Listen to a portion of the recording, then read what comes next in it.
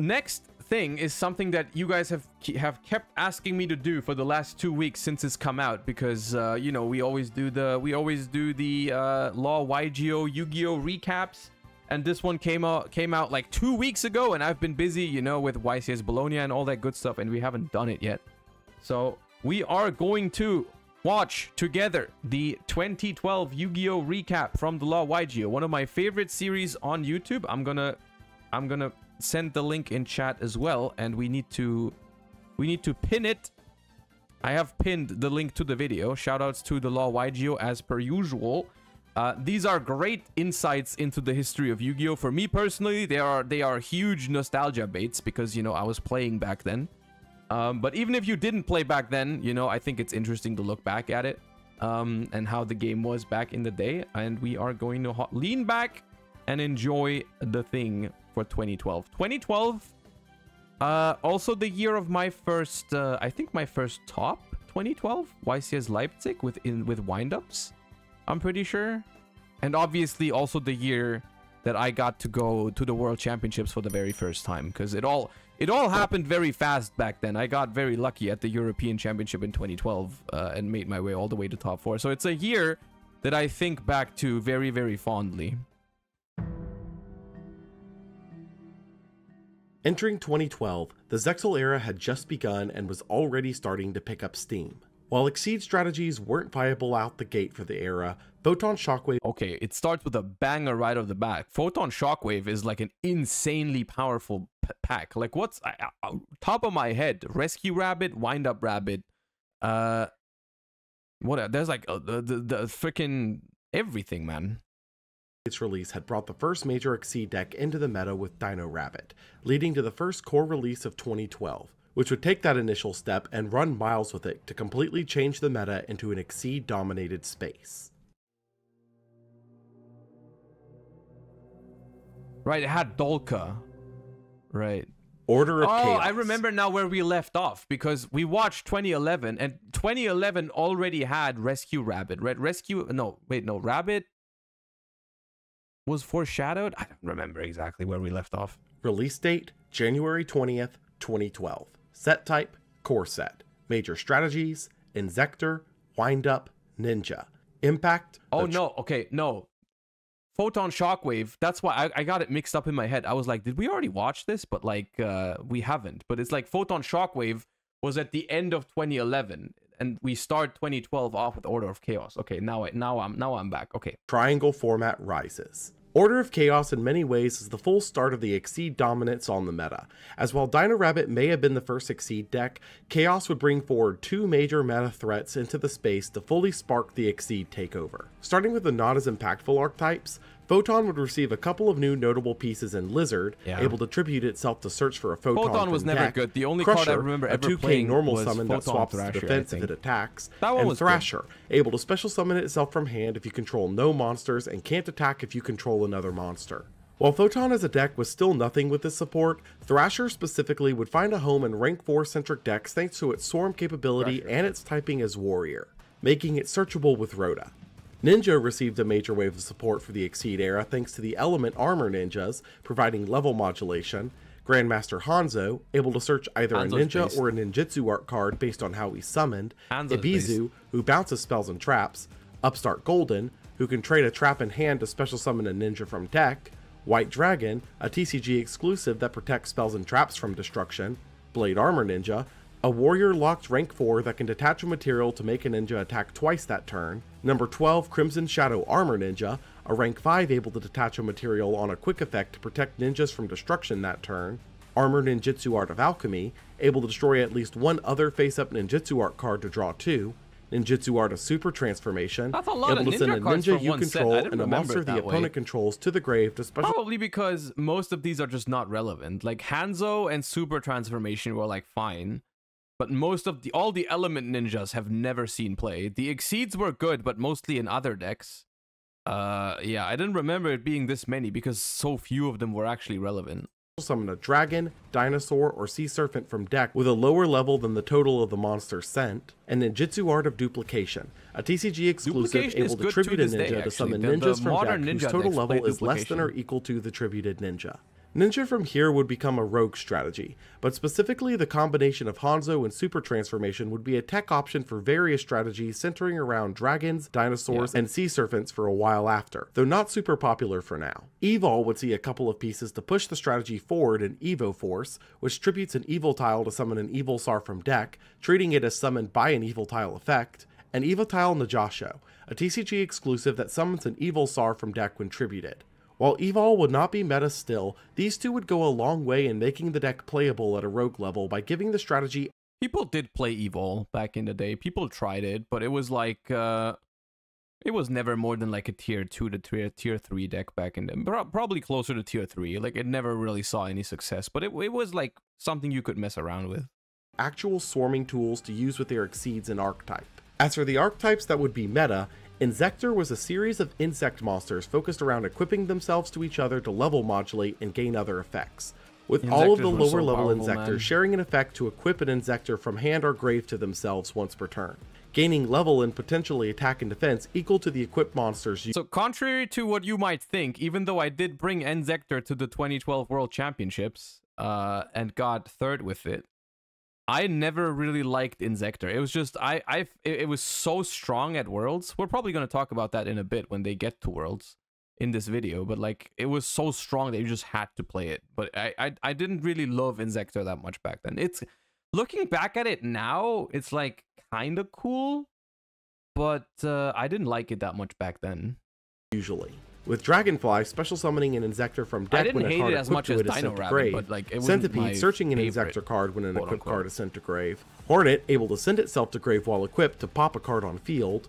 Gigamantis and Giga Weevil, who both can equip themselves from hand to an Inzektor themselves, like? boosting their mostly, In the TCG, I played mostly Wind Up. But for Worlds, that wasn't an option because Wind Up had a lot of TCG exclusives. But I played a lot of Wind Up. Wind Up is also my first ever top at YCS Leipzig.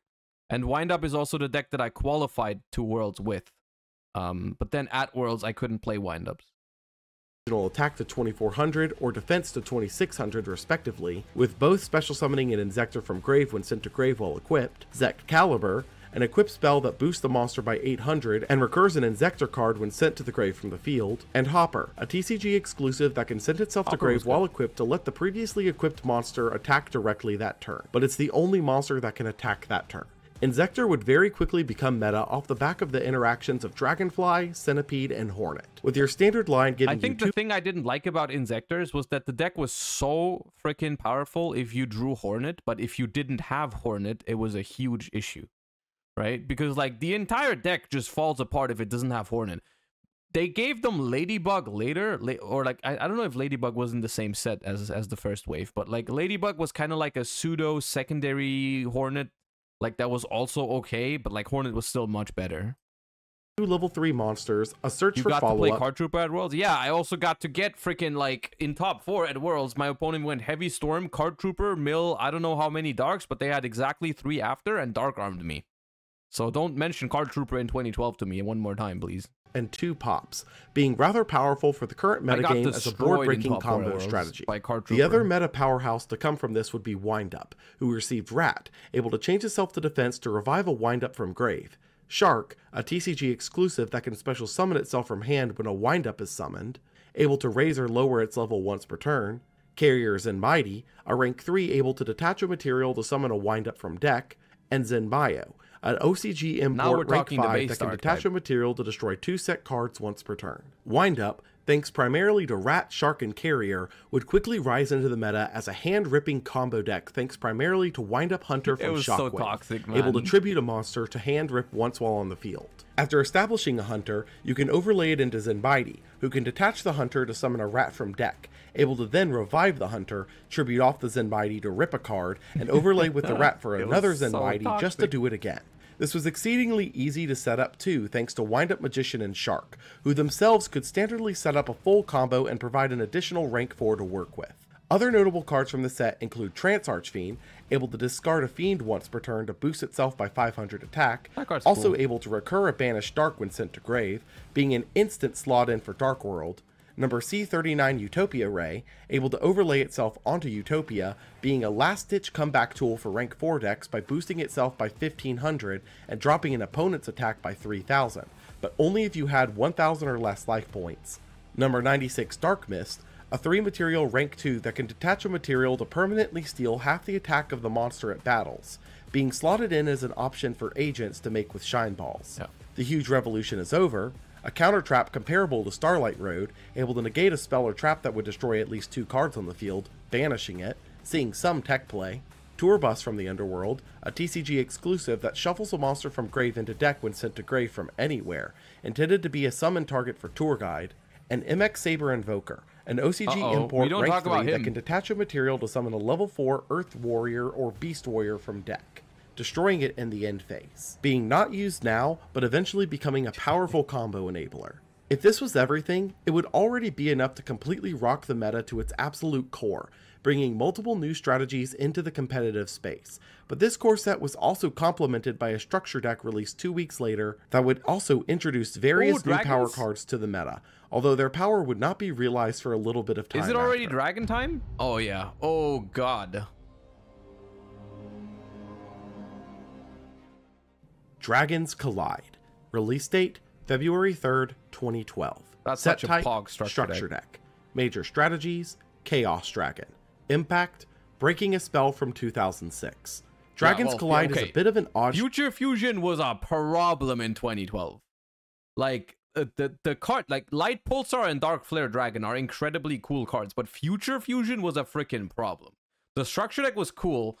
If Future Fusion didn't exi- exist, it was so much. It was going to be so much cooler. But like, yeah, structure deck in terms of release, as while it released on February 3rd in the TCG officially, it had a bit of a staggered release in full, along with the various side sets of this particular year, leading it to releasing in the EU I always and thought this deck was so full cool, but I never played it because it was so bricky. Well, this I played resulted it at in like the next locals and YCS such, we'll but be never talking brought it to about not being events because it able to use so the new bricky. cards from the set due to legality dates, which is the primary reason for its staggered results. As for the deck itself, Dragons Collide would aim to take the previous Chaos strategy and meld it together with powerful dragons released over the past few years to form a new deck in Chaos Dragons, which combined the tendencies of both Chaos Brews and Aggro Dragon into a single strategy. This was thanks to their new cards here. Light Pulsar Dragon, who has the standard Chaos summoning condition of banishing a light and dark, but is also able to summon itself from grave by discarding a light and a dark, able to special summon a level 5 or higher Dark Dragon from grave when sent to grave. Dark Flare Dragon,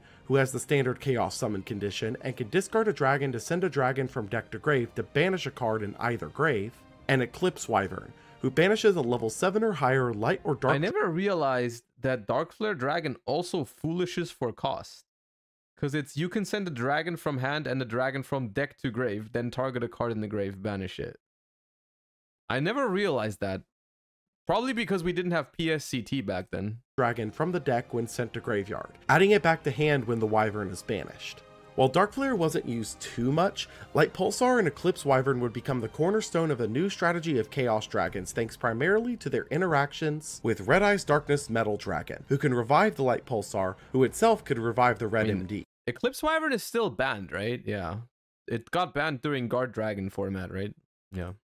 All of this was enabled by the previous spell of Future Fusion, which at this stage was We already being PSCT? abused by Okay, Aggro Dragon just- thanks to its ability Then I just haven't thought about Dark Flare Dragon in 11 years, and that's why I didn't remember it did that. But to reveal five-headed dragon to dump five dragons from deck to grave, but could now dump Eclipse Wyverns to be banished for a Chaos Summon, immediately netting a search which standardly meant you could get the entire strategy rolling off of a single card. Reprints here included Prime Material Dragon, Red MD, Dad, Chaos Sorcerer, Summoner Monk, Lyla, Raiko, Book of pretty Moon, base Reasoning. Monster Gate, Charge of the Light Brigade, and Call of the Haunted. YCS Guadalajara would be the first YCS of 2012, taking place on February 4th. And while the faces of the previous meta were still around to varying levels of success, the new Exceed strategies had clearly taken a majority of the top cut, centering the metagame around these three. Wind Up would take the highest slice of the three, but would only clear into the top 8 overall, as the three, Face. in a weird way, formed a sort of rock, paper, scissors dynamic where standardly Wind Up beat Rabbit, Rabbit beat Inzektor, and Inzektor beat Wind Up. Wind Up being able to hand rip the opponent for 3 to 4 cards in the first turn is insanely powerful, especially going into cards that I will say, Wind Up, I mean, yeah, Wind Up could hand loop, right? Wind Up definitely could hand loop, but people played like Maxis and Effect Veilers a lot. I like after this is the early days, but I, I think we're gonna see a lot more effect veilers in people's decks moving like in the next couple uh, thingies that they're gonna show. Um, like the chance that you would actually hand loop your opponent with um with with wind up wasn't actually that high. It didn't happen that often. Uh, it was I think the best part about Wind Up was its grind game with cards like Wind Up Factory. Like Wind Up Factory was an insane card in, in any sort of grindy scenario. Because Wind Up Factory says it's a continuous spell that says whenever, like when uh, once per turn when a Wind Up activates the in effect, you get to search a Wind Up from deck to hand. So it was very very often a game of you would play a grind game, assembling resources, grinding through your opponent's resources until eventually you would break through and combo them uh, and win the game, right? That was mostly what it was about. But it did, of course, have this small chance of sometimes you open Magician Shark and your opponent doesn't have a hand trap and then you just win the game, right? But like, um, yeah.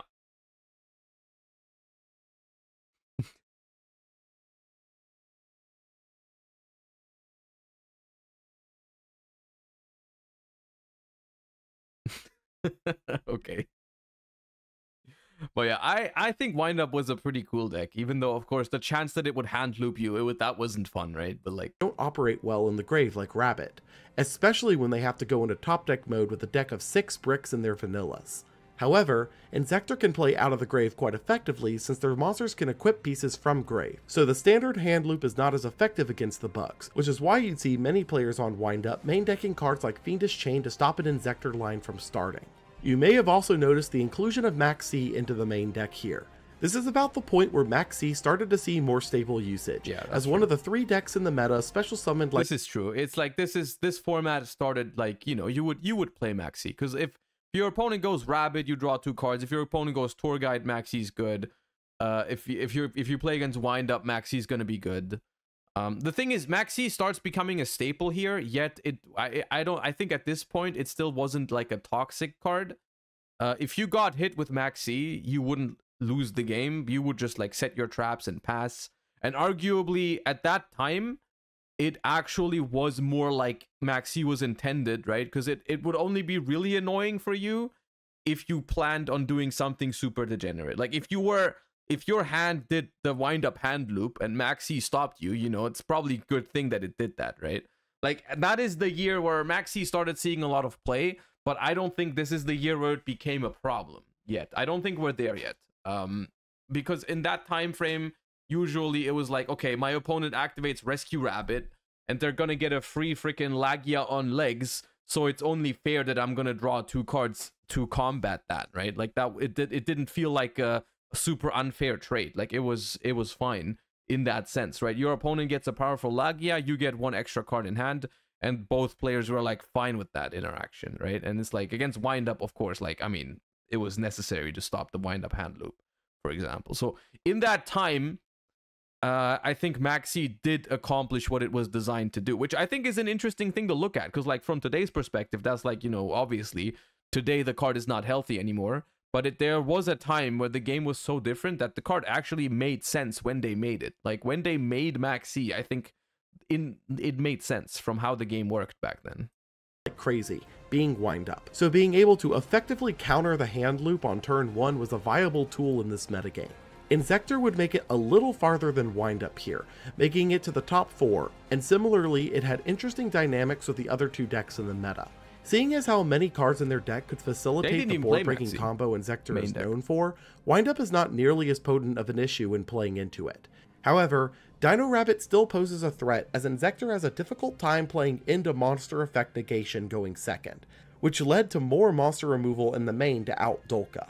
Last of the big three, Rabbit made it all the way to second place here, facing an Inzektor matchup won? in the top four. Notably, main decking DD Crow here as a way to counter out the Hunter loop by banishing the one copy of Hunter out of the grave after the first Zenmaity summon, as well as being able to counter out Inzektor by banishing their Hornet out of the grave. Aside from this, not much had changed in the deck structure since the previous outing.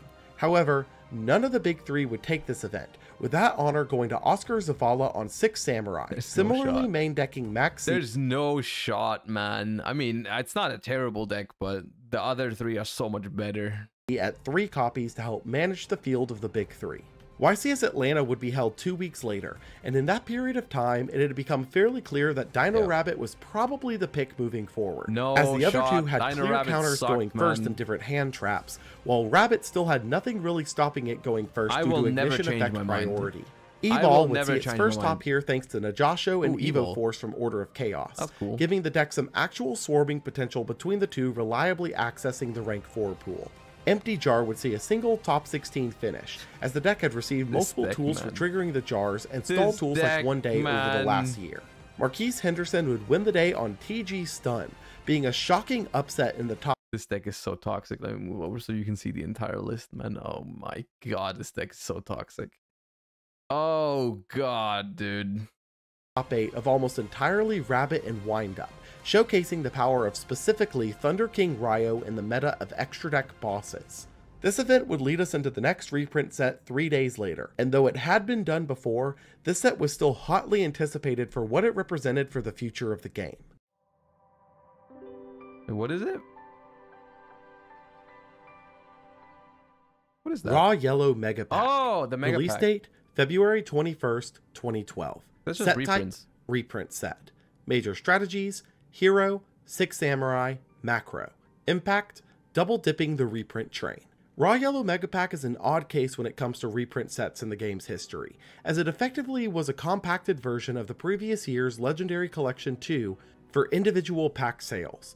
Regardless, Raw Yellow did another big wave of reprints for various strategies and different rarities than before, reprinting Card Trooper, Grand Mole, Stratos, Necro Gardna, Neosalius, Gallus, Miracle Fusion, Super Poly, Instant Fusion, Hero Blast, Malicious, Plasma. Sidra, Future Fusion, Mizuki, Rai-Oh, D-Fissure, Macro, D-Prison, DD Survivor, Grandmaster of the Six Samurai, DD Crow, Gateway of the Six, and Double Edged Sword Technique. YCS Leipzig would take place four days later. Unfortunately, out of those, uh, out of all those, you wouldn't play any anything in these. this is me. I'm in here. I'm uh, one of the two windups, which is criminal, by the way. We, we were criminally underrepresented at YCS Leipzig, but uh, I was I, I made top 16 at my that was my first YCS top ever, and I lost to I lost to Simon He in top 16. Later. And if there was an event to encapsulate how this format felt for the majority of the player base, this was the one. Seeing only the Triangle 3 decks make the top 16, with Steven Sluiz taking the event with Dino Rabbit, once again showcasing its dominance of the three. Shortly after Leipzig, the ban list would be updated on March 1st, and while it did handle a couple of sore points in the metagame, it may have also been one of the most out of touch ban lists to date, as literally nothing from the current Big Three would get that. hit in any regard. Yeah. Newly banned were Glow Up Bulb, Spore, That was crazy. The glow up bulb sport Trish one was insane, dude. No one was playing that shit anymore. They murdered plants like in literal hindsight, man. and Trap Dust Shoot, which effectively took Trap Dust Shoot nice. out behind the barn Trap and Dust also nice. banned probably the most annoying staple in the current meta. Newly limited were TG Striker and Agent Earth, being hits towards But that was TG a Agent, terrible I guess. It's a really weird hit set regardless. Newly semi-limited were Lumina, Marshmallow, Reborn Lumina. Tengu, E-Telly, Level Limit Area B, Sheen Smoke Signal, Torrential Tribute, and Ultimate un- Offering, unhits. being a wide set of hits and releases for decks of the previous metagame. Lastly, Unlimited was Call of the Haunted, wrapping a ban list that effectively just primed the meta to be even more reliant on the already powerful This triangle. did nothing other than uh it got rid of trap dust shoot. It got us it gave us a second torrential. And sometimes the third call was something that Inzektor considered, but that was it. Like and any uh, everything else irrelevant. Single meta. This would be the precursor to the largest event in Yu-Gi-Oh history, even to Oh, this day, being YCS Long Beach on March 24th, with a record of 4,364 players in attendance, sparked by this being advertised as the 100th YCS, when in reality it was the 25th, but it was the 100th major event circuit tournament following the 75 Right, they said 100th YCS, but it was they counted the shonen jumps, I think. JCs that happened in the GX Yeah, yeah. and 5Ds eras. While the event did have a top cut of 64 players, records from this period in Yu-Gi-Oh's history are extremely notably incomplete for most events, with some not even having published deck lists period. I mean, So this is most- still the biggest YCS to this date, right? 4,500 or whatever it was. I think. cases moving forward here, we'll be showing the top cut graphs that are representative of the meta rather than everything, as Long Beach is probably the best example of an incomplete dataset for the entire year, with 39 of the top 64 being unknowns. crazy. Looking instead at the top 16, a lot of what we've seen from the past few events held even through the ban list, with Dino Rabbit continuing to see the most success of the big three. Wind Up Beast would be a combination of stun decks in many Beast, respects man? with the Wind Up deck. Oh, I remember. I remember this. I remember trying this after the YCS, but I never liked it. But that was that was crazy with the ape fighter as well. Primarily to Photon Saber Tiger, who combined nicely with Horn of the Phantom Beast to get quick battle wins and damage in while also being a level 3 for Exceed plays into the wind-up line. Piper Chaos is an odd deck that makes its first appearance in top 4 here, being primarily based on the previously discussed interaction between Mystic Piper and based. mixing in level 1 powerhouses like Thaler, This deck- DD Crow, This deck is very very based. It's just slightly underpowered for its time. I mean, it could still perform as you can see here, but it was like if this deck had existed just a little bit sooner, like a like a year earlier or something like that, it would have cooked. But like 2012 was just a little bit too late. And Meklord Emperor Wisel, who provided synchro countering and spell negation, as well as the chaos bosses of Sorcerer and BLS. I'm pretty sure it was Hero Beat also event. cleared into the top four here, primarily being the same game plan as before, but now with added access to Blade Armor Ninja for quick and sudden OTK pushes, a trend that would be taken to its natural conclusion shortly hereafter. In a massive upset, Michael Ballin would take the event with Dark World, That was notably. Adding in. Malefic Like, Stardust as a no way to one keep gates Dark up for on multiple radar. turns, No and. Tour Guide providing access to Brawn for either rank 3 plays, or to bounce and resummon Grapha. YCS Lima would follow a week later, and it would be far more standard to the expectations of the meta than how higher placements of Long Beach showed, with the big three taking 14 of the top 16, including the first place slot piloted by Hector DeGaldo, playing Dino Rabbit. Lastly in this block was the Shonen Jump promo for April 2012, which is also pretty important due to the fact that later this year, Shonen Jump was going fully digital, meaning that the promos they had tied to the service would instead now be mailed out directly rather than by the issue. While this doesn't sound like that big of a deal on paper, it meant that now, rather than waiting to see if the promo was worth it and then buying the issue from your local bookstore, it meant that you actually had to be subscribed to Shonen Jump in advance to get the promo. And once the hmm. distribution had ended, Acid that was it. You couldn't go and buy more copies of the magazine to get more, you only got what was distributed. With that said, the final print promo for Shonen Jump was number 30 Acid Golem, which Surely is never a technically problem, already right? in players' hands prior to the April 1st drop Do date. you know why Acid Golem was good at the time? Do you want me to tell you why we played Acid Golem? Sometimes. It was because it was the biggest freaking rank 3 you could make. There was no other rank 3 that was that big and you would like take the drawback, you know? Like you would take the drawback of like I can't summon 'cause just so you could make the biggest possible like turning tour guide into the biggest possible thing. And sometimes you would even play it eh, like against like a skill drain deck or whatever. It would be like you're only out to deal with like a big monster. Uh, and so on and so forth, you know? Like that was actually the reason why why they that that was the intention behind Acid Golem. You know? thanks to it showing up in some deck lists as far back as Long Beach.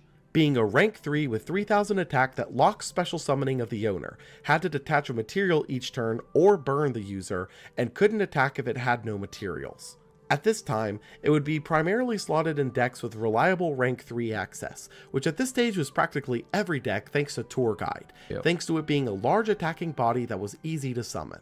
This would lead into the year's starter deck two weeks later, and while most starter decks at this stage were hit or miss, this one would bring a couple of new tools to the pool to spice things up nicely. Ooh, the Jin one, right. Oh, I love these Jins, man. Temtempo, dude. Temtempo, Exceed Temtempo was so cool. Release date April 13th, 2012. Set type Starter deck. Major strategies Jin.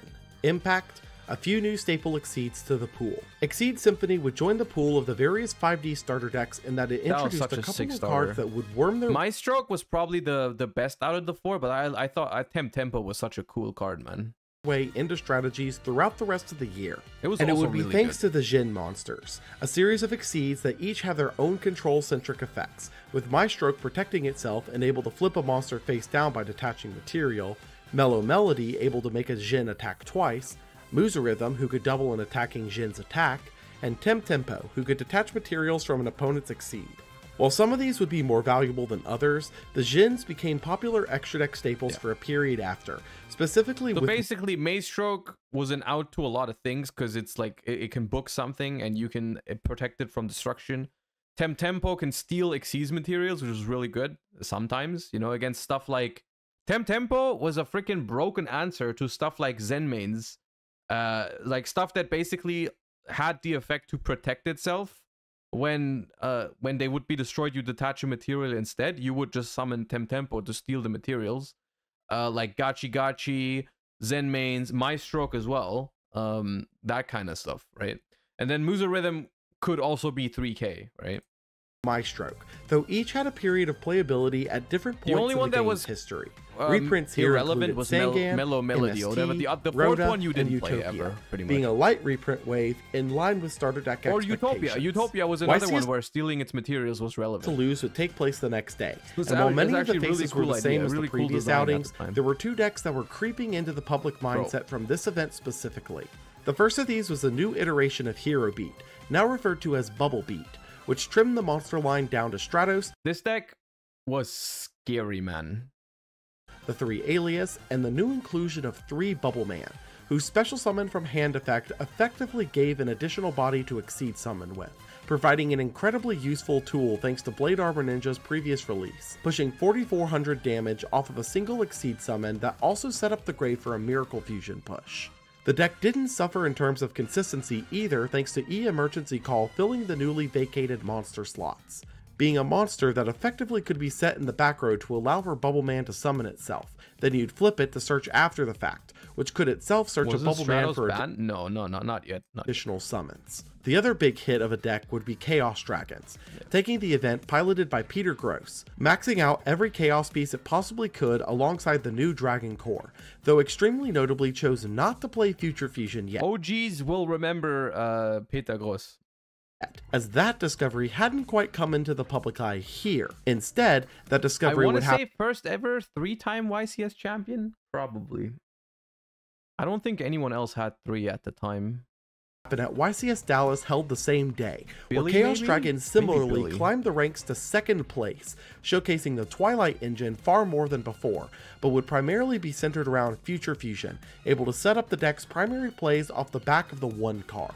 Nazar Sahan would take the event on Dino Rabbit, notably playing triple of both Maxi and Veiler to counter Windup and Inzektor respectively. This, however, was also about to be a sufficient counter to Dino Rabbit as well, as 11 days later on April 25th, the TCG rules were updated, removing Ignition Effect priority from the right, game, matching the that changes- was so big! Dude, who here remembers priority, man? Priority is a rule that we had for so long that made no freaking sense, man. It made no sense whatsoever.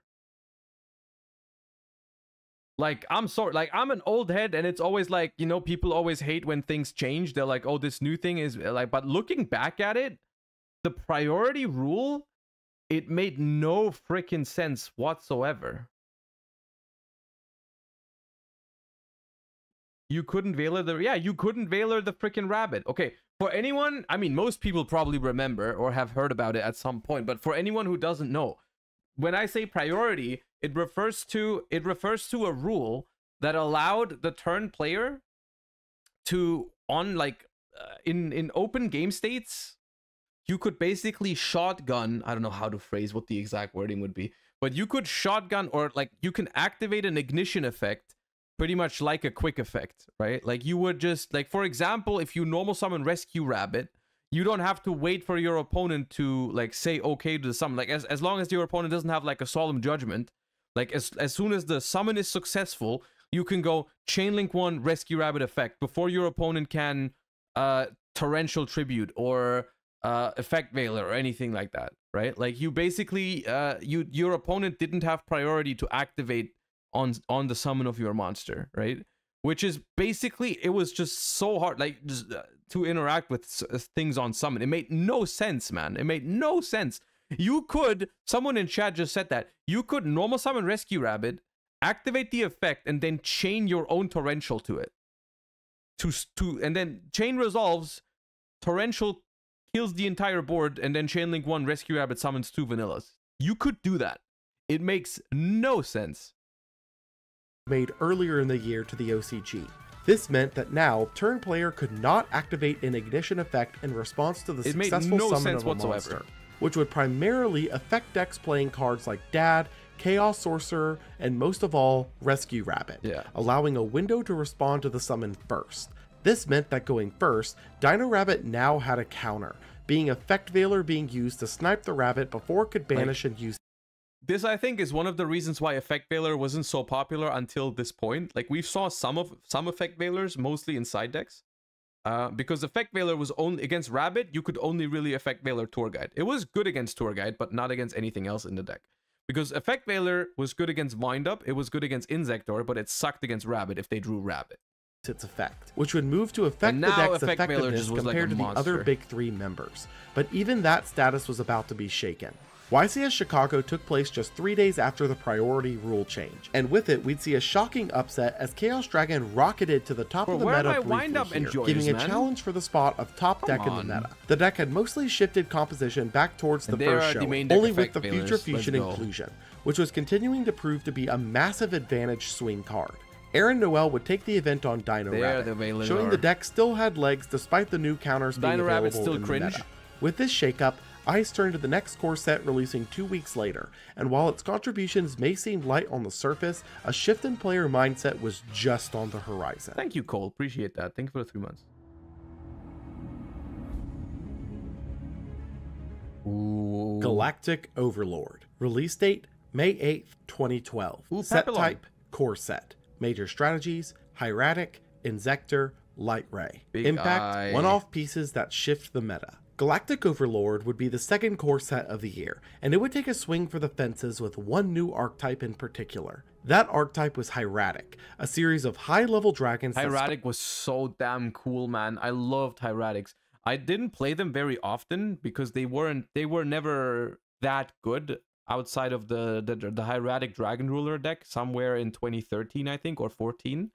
But it was such a cool archetype. special summon a normal dragon from hand, deck, or grave when tributed, setting its attack to zero. These included Eset, who could be normaled without course tributing it and copy the level of a normal dragon it. onto all hieratic monsters. That was annoying. Nebthet, who could special summon itself from hand by tributing a hieratic monster, able to tribute a hieratic from hand or field to pop an opponent's monster. Su, who had the same summon and pop effect but for spells and traps. Tefnuit, who could special summon itself if you controlled no monsters. Atum, a dragon lock rank 6 that could detach a material to summon a dragon from deck once per turn, dropping its attack and defense to 0. Heliopolis, a rank 8 that can detach a material to tribute any number of other monsters from field or hand to pop that many cards on field. Seal of Convocation, a search spell for the archetype, and Reflection, an Omni Negate counter trap whose cost is tributing a hieratic monster. Hieratic as its own deck would be hit or miss, primarily due to requiring one of the monsters that's able to be summoned without a tribute Yeah. to start, causing Yeah, you had the deck had four relevant main deck monsters, two of which were meant to be on the field first, like Tefnuit is like Cyber Dragon, and the other one could be normal summon without tribute. And then the other two were the ones like the enablers from hand that would tribute the other ones to summon themselves, and then you get to summon from the deck and so on and so forth. The deck to be prone to bricking if played pure. But you However, a Attune each, specifically would be pulled be from this archetype and splashed into Chaos And Dragons Tefnuit thanks to Light Pulsar being a level 6, granting the deck easy access to Red MD from the deck by dropping its attack and defense to 0. Inzektor would see a couple of new pieces here in Ladybug, who could send itself to grave while equipped to raise an Inzektor's level by up to 2, and Exa-Stag, an insect locked rank 5 that could attach a material to equip it. Ladybug was mainly huge because it removed itself, the like you needed half of its attack aspect. Like you could While not much on the surface. Ladybug specifically solved a massive issue with Inzektors, a going first equipable monster. By using the level modulation effect, it was easy to trigger the Dragonfly and Centipede loops, which could also help to facilitate a new form of deck, being the Inzektor combo deck. Light Ray was the other big debut archetype here, Light being are so cool, of famous bosses suck, in the game's history with similar summoning Well, conditions all to the suck, dark they counterparts from very, Phantom very Darkness rarely, years but, like, prior. However, none so of these would come overall. anywhere near the power and popularity of Dad, flopping on release. Moving on to the one-off cards, Card Car D was a monster that traded the battle Card Card phase D of your good. turn and normal summon to That draw two cards and end your turn. A popular choice for alternative win condition decks. Photon Strike Bouncer was a rank 6 that could detach a material to negate the effect of a monster on field Bouncer's and burn the good. opponent for a 1000, being one of the first big generic rank 6s. Photon Papilloperative was a rank 4 that could detach a material to swap a defense monster to attack mode, dropping that monster's attack by 600, a solid option in the rank 4 toolbox. Number 25 Force Focus was another generic rank 6 that could negate a level 5 or higher monster's effects for the full turn, having a more niche usage than Bouncer, but handling some corner cases that the former couldn't. Gaia Dragon the Thunder Charger was a rank 7 that could overlay onto any rank 6 or 7, dealing piercing damage, primarily No, used to override a monster's inability to attack after using an effect, like a tomb. Night Beam Don't make fun of Night Beam anymore. was a new spell trap removal for set cards that stopped the targeted card from activating in response. Why response, did he say that? filling a niche alongside the reliable MST. Lastly, number 11 Big Eye was an OCG import rank 7 that could detach a material to steal an opponent's monster once per turn. Not seeing play for now, but being the first big generic rank 7. YCS Philadelphia would take place a little over a week later, and while the meta appeared mostly unchanged Bro, on the stop surface, playing a key Rabbit, development man. had taken Rabbit hold. sucked, the first man. of these was the appearance here, not even a hot take, just the truth. The only reason why Rabbit did so well is because so many people played it, man. Everyone thought that it was good. It wasn't. It was just the sheer numbers. By the sheer numbers of people that entered events with Rabbit decks, it was just like some of them didn't draw the vanillas, man. But the deck sucked, man. Trust me. Here's a final countdown in the top 16. While the deck itself would not stick around in the meta long term, it would set a precedent that would be iterated upon multiple times through the remainder of the year. That being that alt WinCon tools had finally hit a critical mass thanks to cards like Card Car D and One Day of Peace, resulting in these decks standardly being able to take one game despair. after a long period of time, citing into stall tools like Golden Ladybug for going into time to Golden take games in a seemingly unfair manner. Feng Shen would take the event on Chaos Dragons, seemingly changing very little with Galactic Overlord's release. The set wouldn't be able to sit for long as the new face in town, as five days after Philadelphia, a new first of its kind pack would be released, and it would usher in a new direction Konami would be attempting to take that? Yu Gi Oh! in for the foreseeable future. Oh, Battle Pack. Battle Pack Epic Dawn. Release date I May miss 24th, Packs, 2012. Set type Draft Pack. Major strategies I miss various Battle powerful Pack. standalone cards. Impact the first foray into drafts. Epic Dawn would be a bold step for the game in terms of direction, being the first ever pack specifically built to be drafted for sealed play. This was different This was from such a packs good idea, man. I wonder why they stopped. I mean, maybe it didn't perform that well, but I guess it battle packs were so cool because like you couldn't, you could never use classic Yu-Gi-Oh packs for drafting because there's so much archetype stuff going on that you can't do in drafting. Uh, and then they made a pack specifically for drafting, and it was so fun, man. that came before it. As anyone who's ever played in a sneak peek event can attest, Yu-Gi-Oh's packs are not conductive to a sealed play environment in the slightest. Yeah. While this was a revolutionary step, this did mean that for the most part, the pack held nothing new to bring to the table. Only reprints of a couple of noteworthy cards like Gorz, Tragodia, Adreus, Forbidden Chalice and Lance, Fiendish Chain, I guess they didn't put good enough reprints in it so that not enough people were interested in it. Like maybe you maybe you need to if you want to make such a set work, you need to also add some value to it because they I think they designed it just based off of how can we get the best possible draft experience possible uh without thinking about like reprint value, you know? Like they they they needed to throw like some because there's a lot of good cards that you can reprint in the. I mean, I guess they did put tour guide in it though. Like tour guide was huge, but I guess that wasn't enough. I don't know. Zephyros, I mean, easily this wasn't the last battle pack, so maybe this one was fine. Maybe this one did well, and that's why they made more.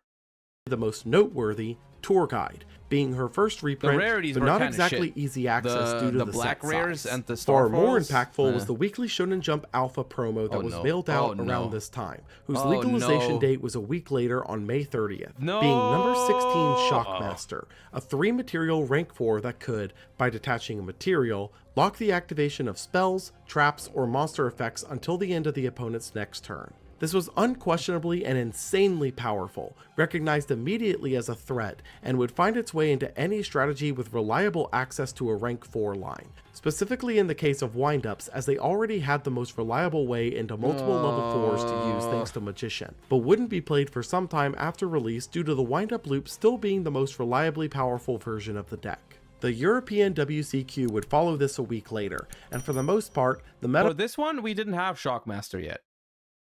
We didn't have Shockmaster yet, yeah. But this is where finally Wind Up reigned supreme in Europe. This is where finally we understood. And I was also part of this one. I was part of the 10 Wind Ups, 10 proud Wind Up representers. Finally, people realized it was the best deck.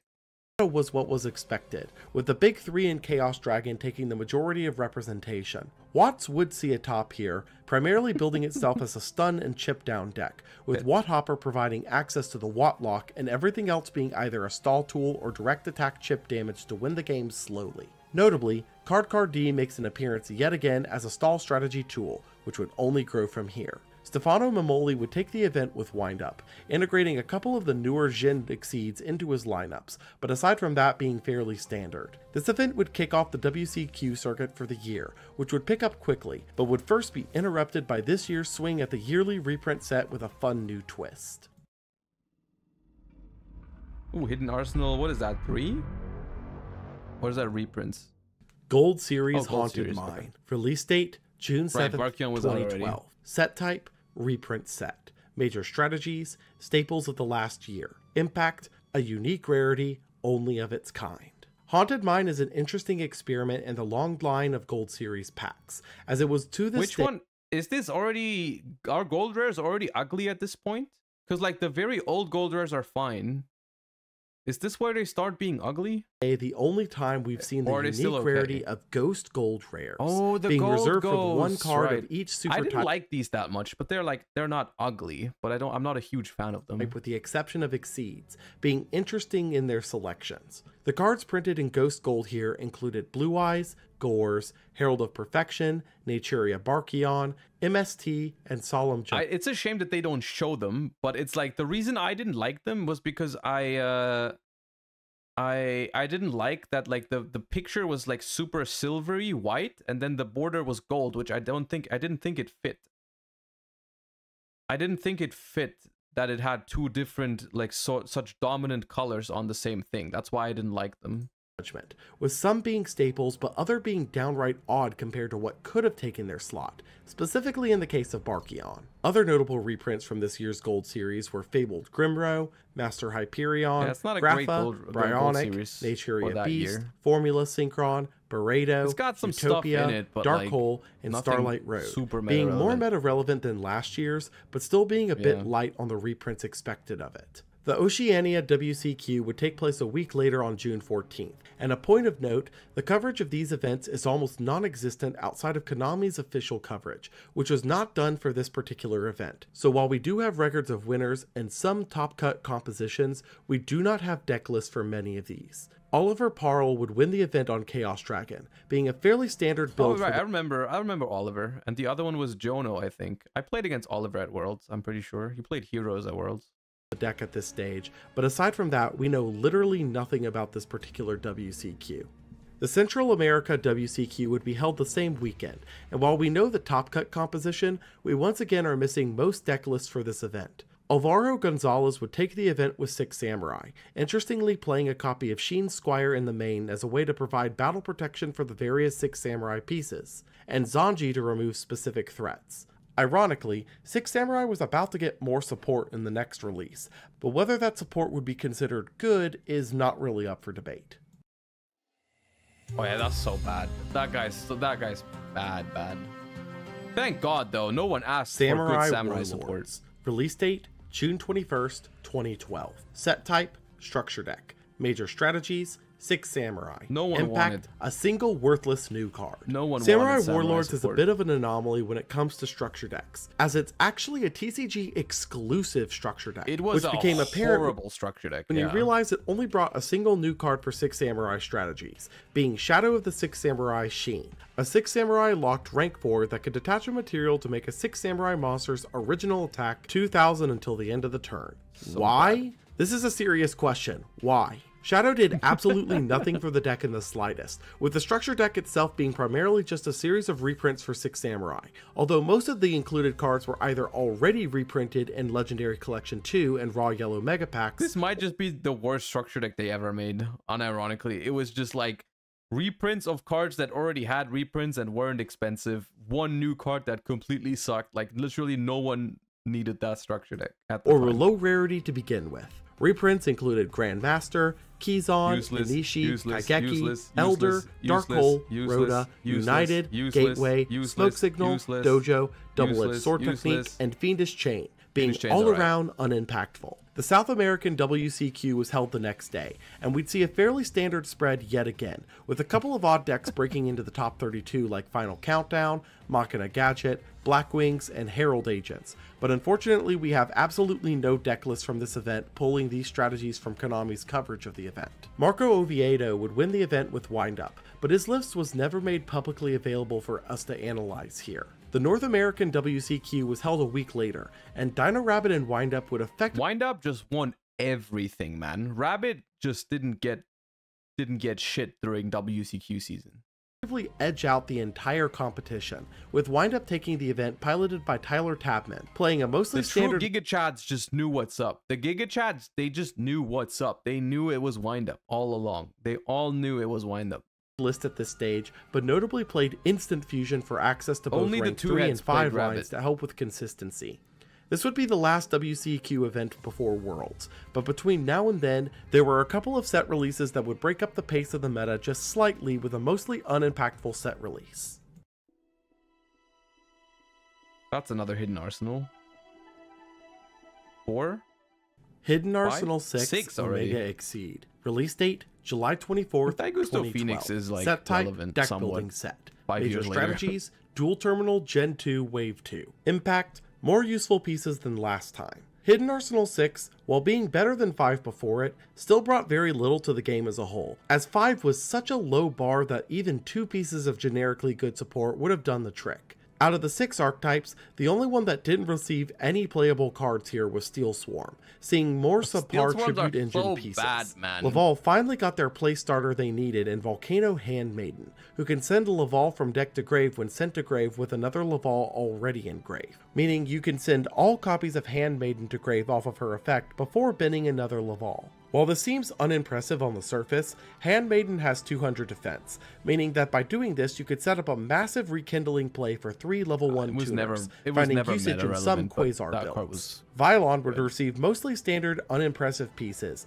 but they also received Disigma, a 3 material rank 4 that could detach a material to equip an opponent's monsters to itself, gaining a Catastor like effect when battling monsters of that attribute, seeing some play in rank 4 decks. Bro, I think it needs Gishki would receive. Vision, the ritual monster search companion to Shadow, and Gust Kraken, a level 6 ritual that shuffles a card from the opponent's hand into the deck. Okay, on those were actually, summon. like, That second cards. one probably set off some red flags immediately. Yeah, yeah, And yeah, yeah. yes, a loop was discovered with the Yeah. monster, but it wouldn't be Gishki stuff. available for the TCG until 2013, and even then the loop would be hit far prior to it becoming an issue. Gusto would receive a new rank 2 in Phoenix, who could attach a material to make itself able to attack twice that turn, seeing play as a staple rank 2 boss. Lastly, Gem Knight received probably the most basic playable card they could have in Gem Knight Pearl, a it was rank 4 playable because it was just bigger than Utopia. Like some people played it. Some decks played it because it was bigger than Utopia. with 2600 attack Literal and no vanilla effect, seeing Exceed. play as the largest rank 4 body could- in the game for You know why it was actually relevant? It's because it couldn't be Fiendish chained. over threats. A couple of weeks later, on August 10th, Like, the that was first actually wave of this uh, year's actually collectible playable, tins 'cause, would like, if your opponent bringing had a waves of new you could play promo around it. reprints to the masses, with reprints of the Evolzar Dolkka, Gen X Neutron, Scrap Dragon, Wind Up Zenmaines, Wind Up Rabbit, Evolzar Laggia, and an Those early introduction to Heroic talking. Champion Excalibur, the cover card of the next core set due out later that month. That same weekend, the Oh. 2012 World That's me. Somewhere. Here. There I am. championships would take place, and with the top 8 showcase, a massive shift would appear to have taken place, but clarification is absolutely critical here. Yeah. With the World Championships, the OCG and TCG card pool has to be consolidated to ensure fairness across the board, meaning any cards that are currently OCG or TCG exclusive are banned for this event. yeah, Because so basically, no wind up rabbit, no wind up. I think shark or fact. no, I think shark. No shark, no wind up rabbit, no tour guide. Uh, so basically, the only playable deck was Inzektor, pretty much. Jarrell Winston is a freaking uh, is the freaking legend for bringing Exodia to this event and topping with it. Because of by this, the way. Tour Guide from the Underworld was banned for this one event, as it was a TCG exclusive at the time, which put both Windup and Dino Rabbit at a severe handicap, as Windup lost its easiest rank 3 enabler for the loop startup, and Dino Rabbit lost access to Leviair for bringing back the Rabbit, leaving Inzektor as the only unaffected deck of the big three. Another extremely interesting sighting here was Exodia, piloted by Jarrell Pro Winston, making it all the way into top 8 This of Worlds here, thanks to all of the various stall and draw This tools from across it the plays years. Gift card to give your opponents life points to draw more cards with hope for escape, man. Holy. So basically, the idea is just you keep skipping your opponent's battle phases with like Swift Scareclaw, Scarecrow, Threatening Roar of Aboku, One Day of Peace, right? Keep not letting your opponent kill you. Draw cards with Reckless Greed, Jar of Greed, Yada, Hope for Escape, and Accumulated Fortune until you have the freaking thing in your hand. So, like a stall Exodia deck, pretty much. With Hope for Escape specifically being extremely powerful, as standardly, after you've resolved your upstarts, gift cards, and taken a couple of hits, you could potentially draw 6 to 8 cards off of a resolved Hope, giving the deck an insane amount of burst draw power we hadn't seen before. Saito Akikazu of Japan would take the This is him, man. This is the dude. This is the Heavy Storm. This is the Card Trooper. And this is the Dark Arm that killed me, man. Event with Inzektor, It's notably fine, though. I not didn't deserve to win this world championship anyways. I was kind of there randomly. Like it was like I wasn't bad at the time. I wasn't bad at the time, but they I also wasn't like I wasn't that good, right? I was I just got very lucky at Euros. Uh and then I at Worlds it was just like Inzektor, Mirror Match Fiesta and all that. But like uh yeah, it was it was fine looking back. It was this was the year and this was the event that really sparked my my love for compet- competitive Yu-Gi-Oh. Like after I made it to Worlds, I never missed a European YCS in 11 years now. Like that was the, that was the event that that that sparked it for me, right? Because I got I feel like it was because I got so close but didn't get there quite. Playing the standard one of Zektkaliber in his list and citing Really Eternal Rest to counter out the mirror match, claiming this year's title of World Champion. This would lead into the next core set releasing two weeks later, and it would be a sort of catalyst into player thinking, as the pack's color was green. Uh oh.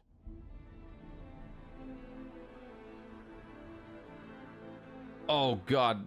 Return of the Duelist. Release date August 24th, 2012. Set type Core Set. Major strategies Prophecy, Madolce, Geargia. Impact A slow burn reboot to the meta. Return of the Duelist would be the arguable start of the Green Pack equals Broken debate, as while it may not have appeared to be on first funny. release, in retrospect, Return would introduce three different archetypes that would go on to define the metagame in some shape or form for the next few years. The first of these would be Prophecy, which is technically two intertwined archetypes, being Prophecy, a series of spellcasters centered around chaining various spells together for massive effect, and the Spellbooks, a series of spell cards that each provide some kind of benefit to spellcasters. This first wave included Spellbook Magician, the one card that is a member of both archetypes, able to search a spell I do think outside of Spellbook of Judgment, which is a card that I hated back then, uh, Spellbooks was really really cool, and a lot of people don't know, but like Spellbook actually was very playable for a long time before before um before Judgment came out. Like there was a period where Spellbook was was able to compete uh be- before it got thing. It was a very very grindy deck. Um and it wasn't tier 1, but it was very playable. It would like a- aim to outgrind the opponent with like uh spellbook tower and spellbook of fate every turn and all that and like a little bit of high priestess a little bit of spellbook of power attacking over your stuff it was a super super grindy deck. Um, I never played it myself actually, but I played against it at a couple of tournaments. Um, it was during Mermail format, which I guess is towards the end of this year. Um, but yeah, Spellbook spell card on normal summon. Temperance, who contribute itself the turn you use a spellbook spell to search for a level 5 or higher light or dark spellcaster from deck. High Priestess, able to special summon herself from hand by revealing three spellbooks in hand, able to banish one from hand or grave to pop a card on field. Secrets, able to search a spellbook card, which could include Spellbook Magician. Power, able to boost a spellcaster by a thousand attack and search a spellbook I always found it kind of funny how all the spellbook artworks are all so lazy because they are all the same template, but sometimes they are just mirrored and slightly different coloring and patterns on the thing, but it's all the same artwork. It's all the same like ba- you see that? It's like if you give someone the coloring book with that thingy on it and they just color it differently and all of that is a different artwork. It's just like a coloring coloring book that's slightly different uh, colored, you know. if it destroyed a monster in battle that turn. Life, which banishes a Except spellcaster Spell from Life. grave and reveals a spellbook in hand to revive a spellcaster. Wisdom, which makes And Wisdom. spellcaster immune to either spells Maybe or it's traps not all of them. I take it back. It's only some of them. that turn. And Crescent, a TCG exclusive that can reveal three different spellbooks in deck to have the opponent add one at random to your hand, but only if you have no spellbooks in grave. Prophecy would fail to break into the meta initially, but a equals all? baseline for a powerful resource loop was present with this first wave, already able to guarantee at least two searches thanks to secrets I guess it's only spell. It's maybe it's only power and secrets. But I okay, that makes it even more funny though. If it's like all of them are different, but these two ha- have the same exact template but flipped.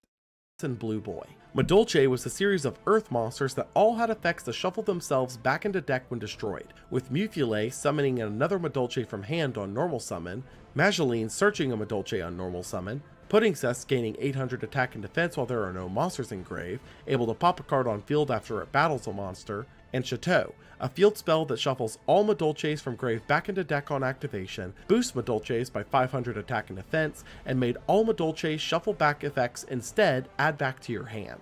While promising, Madolche at this stage just poised itself as an infinite conga line of decently powerful monsters, with the hardest part of the deck being that monsters used for Exceed material and then being sent to Grave would clog their no monsters in Grave game plan, causing the deck to fall flat for now. It was a but the pieces awkward. for something were Madolche. there. Geargia was the last of the three new big oh, archetypes, no, a series of level 3 and 4 Earth machines tailored for Exceed spam. These included Accelerator, who could special summon itself from hand if you controlled a Geargia, recurring a Geargia when sent from field to grave, Armor, who searches a Geargia on flip and could flip itself The artwork on these guys is so wonky. I love it, but I hated the deck.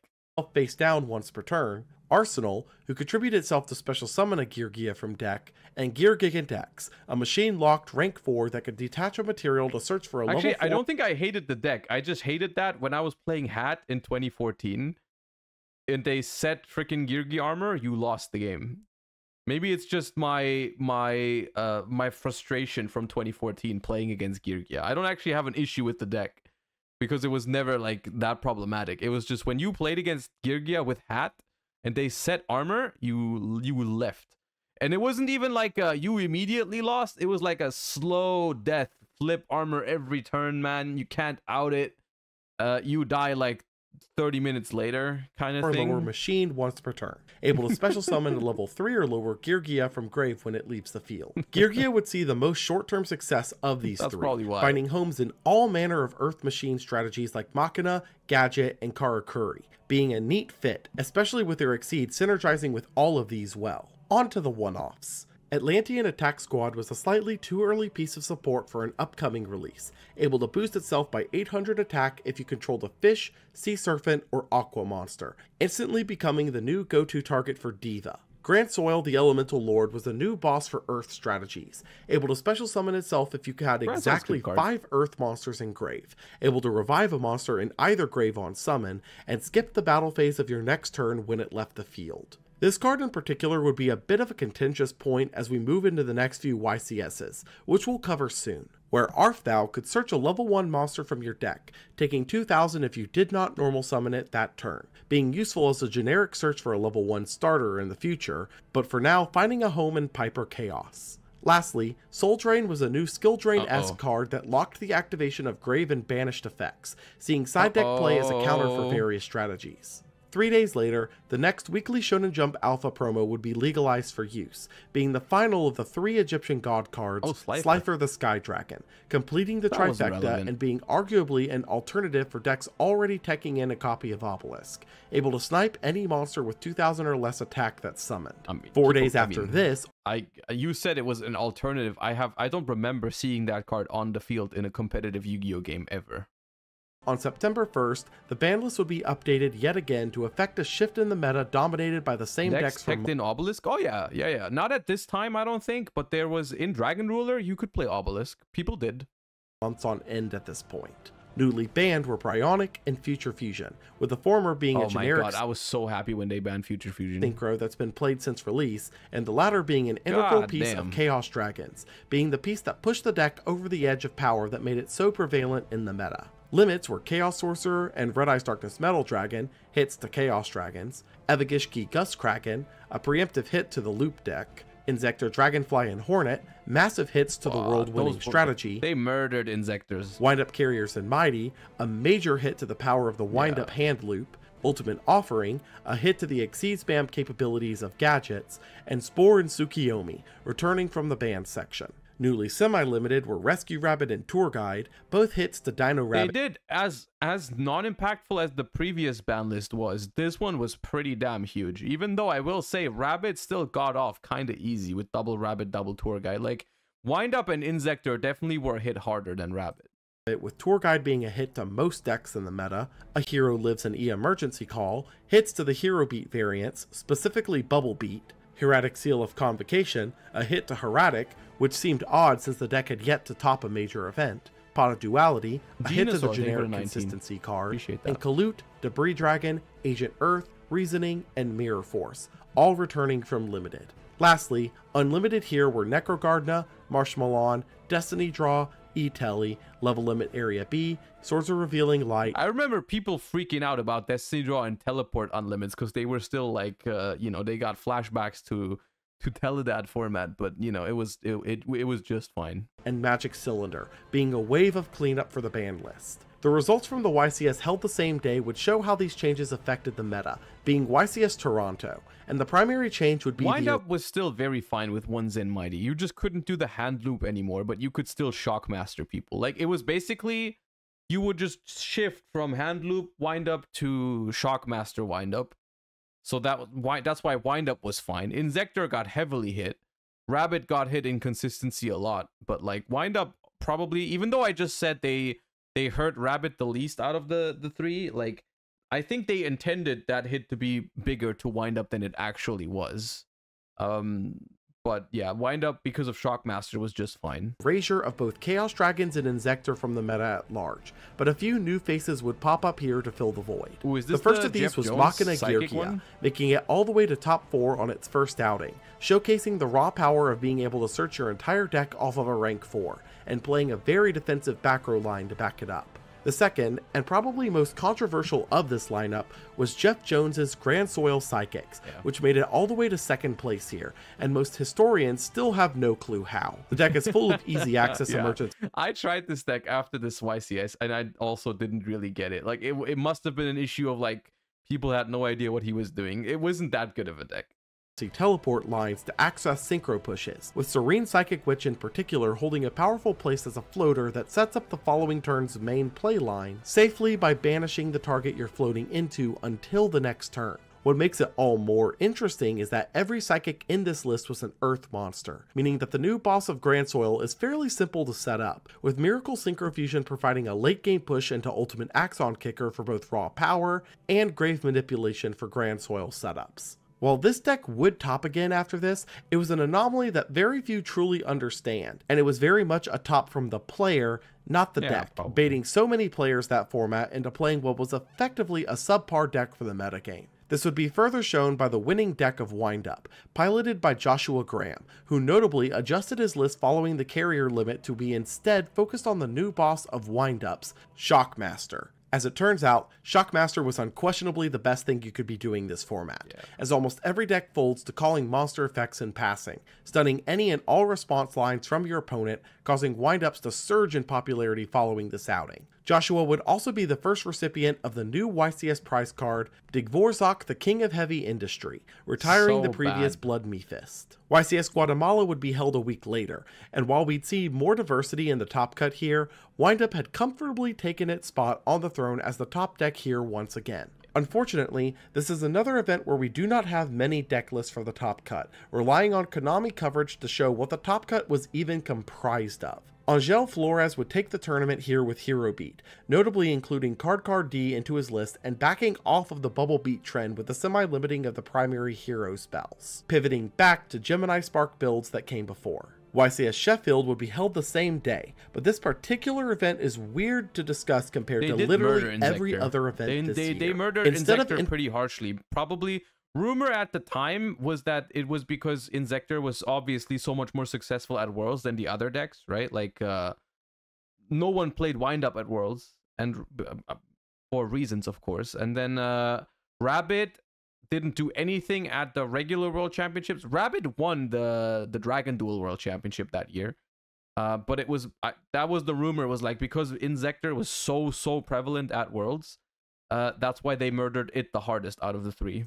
entering the tournament with a deck like normal, every player was given 50 random cards from Battle Pack Epic Dawn to build their 30 card decks, meaning that the event was going to come down to deck building and raw player skill. Peter Gross would take the inaugural draft YCS, was- that was- setting the Bro, I lost top eight of that YCS because I misplayed so bad. I don't want to talk about it. the bar for future sealed events by beating Rodrigo Tagores, another large oh, name. Oh, no, not this one, actually. Not- not yet. YCS one. Indianapolis would take place two weeks later, and with it we'd see both That was K- the first one. Uh, that that Peter that Peter one. Uh, I I was talking about the next one, which was YCS Bristles. I think that was 2013. Chaos Dragons and Inzektors peeked their heads back into the meta with top cut appearances, with Chaos Dragons even taking the third largest portion of the top cut behind Geargia. Going into the list we have access to, Chaos Dragons had pivoted back to using Dark Flare at its maximum 3 copies to provide more reliable Chaos pushes, with eliminating a Sorcerer in addition to a full reliance on the Lightsworn core of triple Lyla,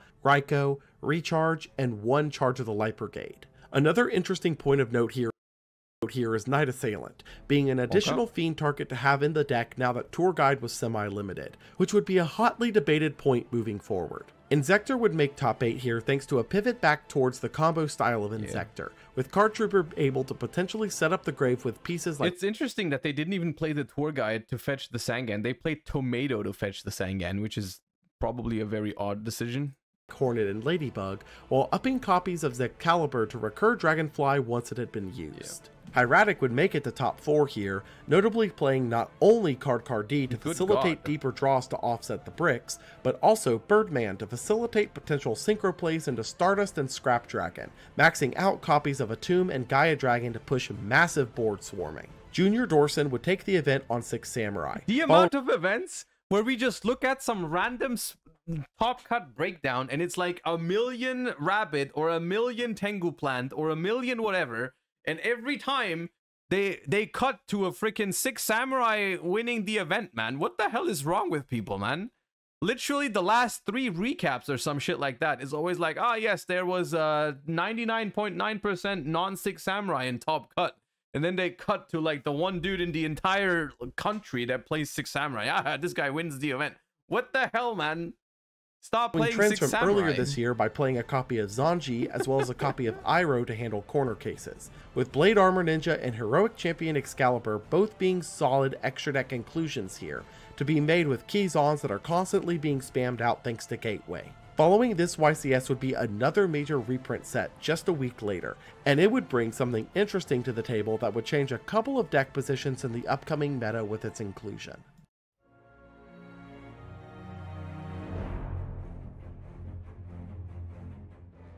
Legendary Collection 3 Yugi's World. Release date September 27th, 2012. Set type Reprint set. Major strategies DM era staples. Impact one new card for stun strategies. Ooh, Yugi's World was the third Oh, and no, probably uh, most Seal interesting of the Legendary right, Collection right, so right, right, far. As while its reprints weren't really meta relevant, it was a massive boon to the popularity of retro formats by reprinting various DM era staples that were currently banned in high rarity. Reprints here included BLS, The Gadgets, Gorz, Dark Hole, Raigeki, Monster Reborn, Pot of Greed, Card Destruction, Heavy Storm, MST, Graceful Charity, Brain Control, Mirror Force, Tune Table of Contents, Sangan, Morphing Jar, Change of Heart, Harpy's Feather Duster, Solemn Judgment, Sinister Serpent, Mirage of Nightmare, reading the Imperial entire Order, set list. Torrential, Bottomless, The Gravekeeper Core, Dark Grepher, Book of Moon, and Exodia.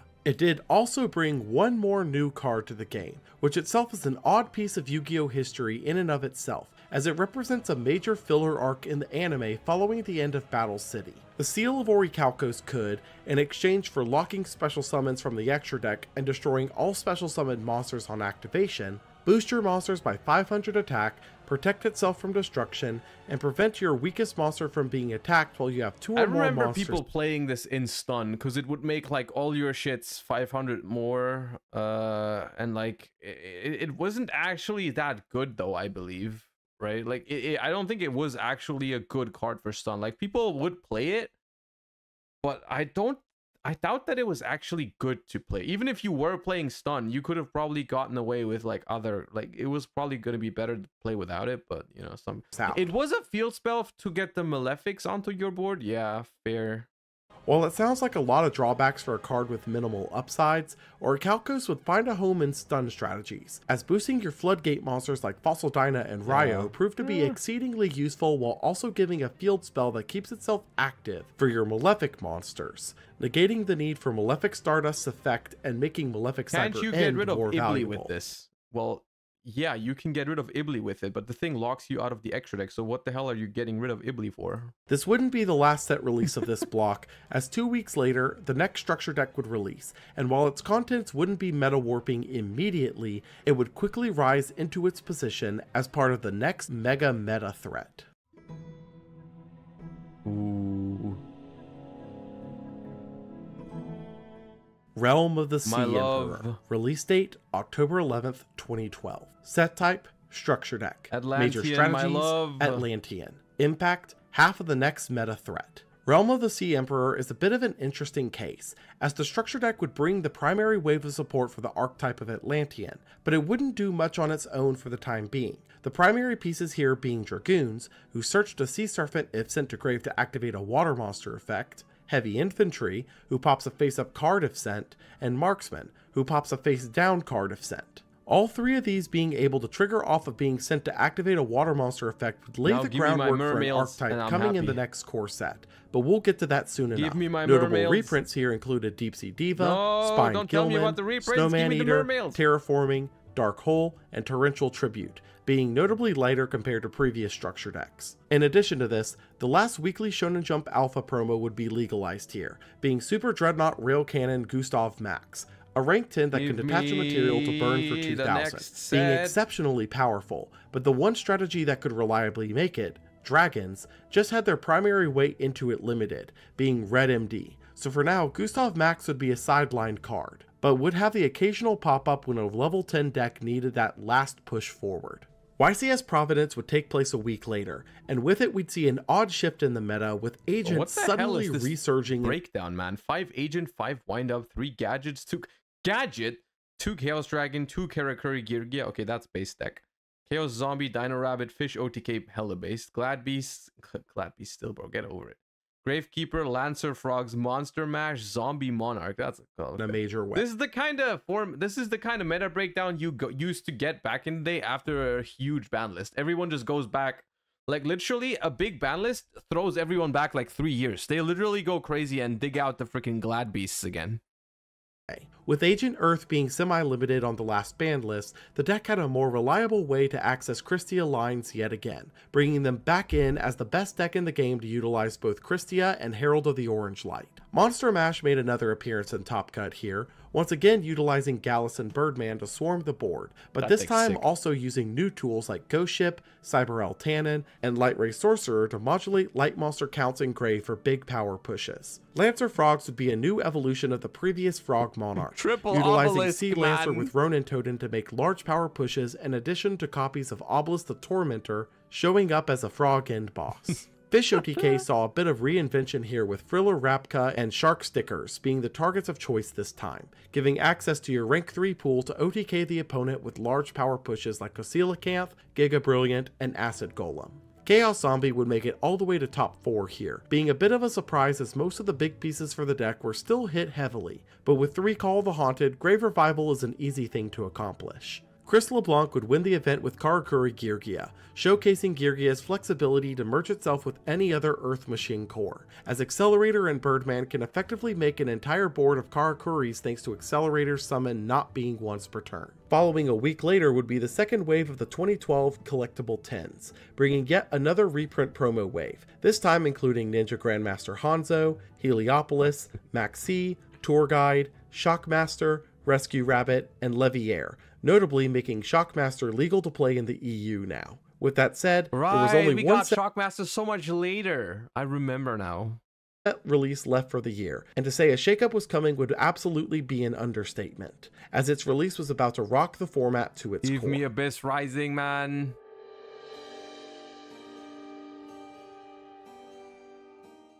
Abyss Rising. Yes. Release date November 9th, 2012. Set type Core Set. Major strategies Oh, Mermail, yes, Prophecy, dude. Megalo, Impact, two a new watery meta threat. Abyss Rising was the last core set and the last major set in general for 2012, bringing a second wave of support for various decks from Return of the Duelist premieres, while also yes. bringing its own new powerhouse archetype. That archetype was Mermail, a series of fish, aqua, and sea God, serpents all centering around swarming the field in various ways. This initial wave brought us Abyss Lind, who when destroyed on the field summons a mermail from deck, Abyss Gund, who revives a mermail when discarded, Abyss Spike, able to discard a water monster to search a level 3 or lower water from deck, Abyss Megalo, a level 7 that can discard two water monsters to summon so itself good, from hand, man. adding an Abyss spell or trap from deck to hand when summoned this way, and able to tribute a water monster once per turn to make itself able to attack twice, Abyss Gaios, a waterlocked rank 7 that locks level 5 and higher from attacking, and can detach a material to negate the effects of all monsters your opponent controls with less attack than himself, and Abyss Sphere, which summons a mermail from deck on activation, negating its effects on field,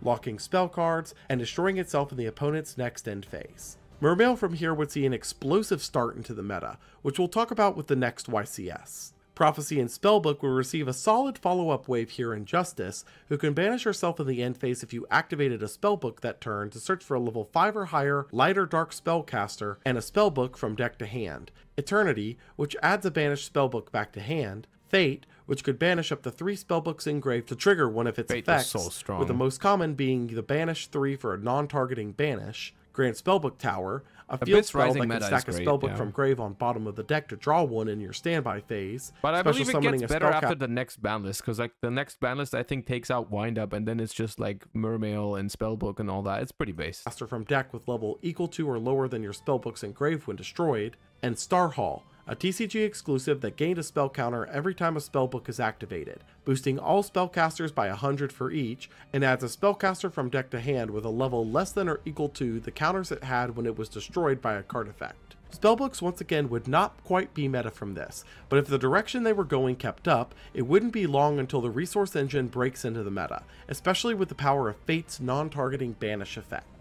Madolche would see a powerful second wave too in Messengelato, who is able to search a Madolche spell or trap when special summoned while you control a beast type Madolche monster, Queen Tiramisu, a Madolche locked rank 4 that can detach a We're material also to missing target up to two Cosmo Blazer, right, Madolche for, cards uh, engraved, shuffling Fire them back Fist, into so deck water- to spin away that format, many that cards the opponent controls, not targeting for the spin back, Ticket, which adds a Madolche monster from deck to hand if you return a Madolche from field or grave to hand or deck, able to special summon the card instead if you control a fairy type Madolche, and Madolche Palooza, no, had able to summon any number of Madolche monsters from hand, shuffling them into deck at the end phase. This wave would be powerful enough to let Madolche see the occasional rogue level success, but something was still missing for the deck to be consistently powerful, as its swarm potential was extremely minimal with the best option there being Mewfeuille. As for the one-offs, Planet Pathfinder could tribute itself to search for a field spell, That's which while Planet not powerful now would be revisited in the future once field spells became more vital. when- when- Solar Windjammer was a level 5 that could be special summoned if you control no monsters,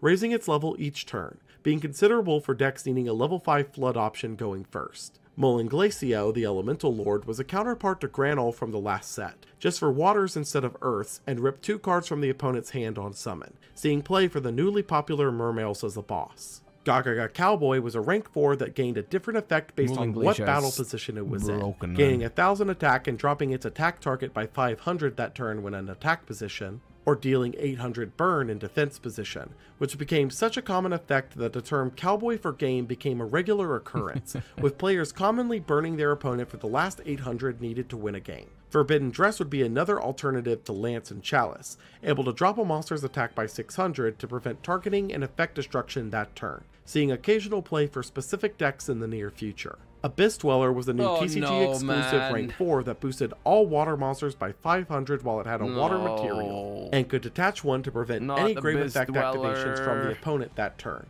seeing immediate extra deck staple play as a counter to various strategies. Lastly, Bahamut Shark was an OCG Oh, import waterlocked rank 4 that could summon a rank 3 or lower water exceed from the extra deck, losing its attack the turn it was activated, seeing play for specific exceed summons later in this era and into the next. YCS Seattle Tacoma was held just 9 days later, and immediately we'd see Mermail, make an impact on the meta, taking 7 of the top 32. Calling the deck solely Mermail does feel like a bit of an injustice, as it's technically three major archetypes all smashed together, being Mermail. Was that the difference between Bestial Runic and Sprite for High Runic? I think Bestial has more non-engine against decks where Bestials are good. Like whereas for Higher just doesn't have room for non-engine whatsoever. So it's like not as good against uh, Unchained and stuff like that. But yeah.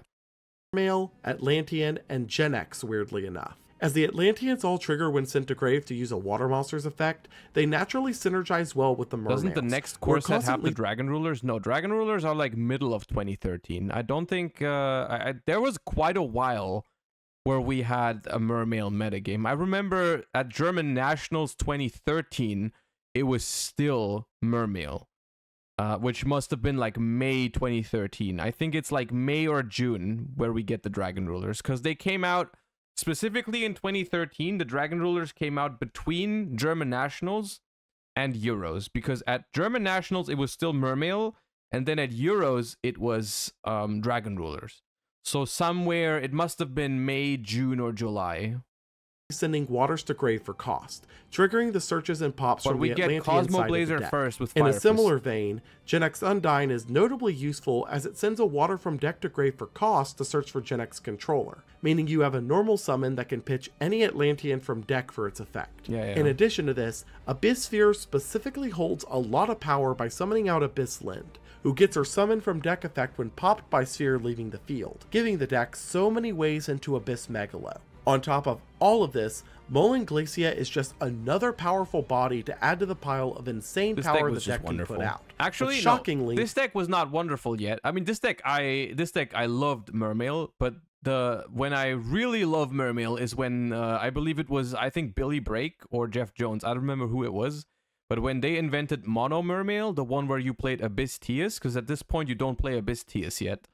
Um, after Mono Mermail, I was in love, man. That Mermail would so only get second place here. First place would be instead taken by Michael Stibbins on Inzektor, playing the more refined version of the combo variant here, and notably playing triple threatening roar in the main to buy a turn for Card Car D to do its thing. YCS Barcelona would be the last event of the year. This is the first one I played uh, um, Mermails at. I, I this was also the first time I picked my deck on the Friday, by the way, because I, I, I distinctly remember on the Friday deciding to play Mermail, and then I had to pick up three of the structure decks at the vendors because I didn't have the cards, and I had to buy three Spanish Mermail stru- uh, Atlantean structure decks, and I still I owned I played those Spanish Atlanteans for so long. I remember that very very um, fondly. three weeks later. And while we don't know much about this event, we do know that a newer variant My of Spanish, an old favorite uh, would marksman, take the day. infantry, that being Jack. Brune's Macro Rabbit,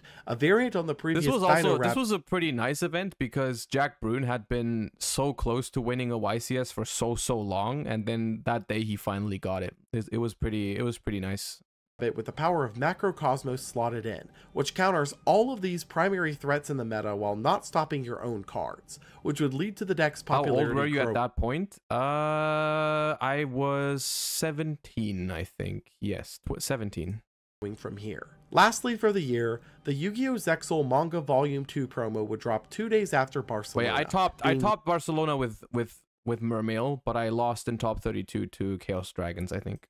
Number 50, Black Ship of Corn, able to detach a material to send an opponent's weaker monster to grave and burn them for a thousand, which would see the occasional tech slot in various rank 4 strategies. And with that, 2012 would come to a close, bringing the Zexal era into a full steam ahead mode mean, as newer and more year, powerful man. Exceed strategies continue to pop up and that was that was like my I, I remember a lot of this stuff very very fondly because it was the first time like it was the first year where I would like travel to big events and stuff like that which is why I I have a lot of uh, like competitive memories of this of this year. Like before before 2012 I used to play a lot of like German events you know I'd go to like regionals and all that kind of stuff but like the 2012 was the year I started traveling the year I really got into um into like big competitive tournaments uh, a lot and uh, it was yeah it was looking back honestly a lot of cool stuff happened. Some troll despair with the rabbit you know we don't talk about the rabbit these days but overall you know pretty damn cool. Okay once again uh shout outs to the law YGO for providing these amazing recaps. Uh can't wait for 2013 the link to the video is in chat. Once again give uh give the law YGO some love. Subscribe to their channel. Watch their other videos if you haven't seen them yet